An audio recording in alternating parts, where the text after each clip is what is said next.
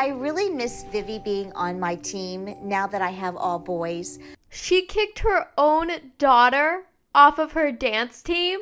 Poor Vivi. You get one injury. I cut my finger on my mom's wing. I hope I can still dance.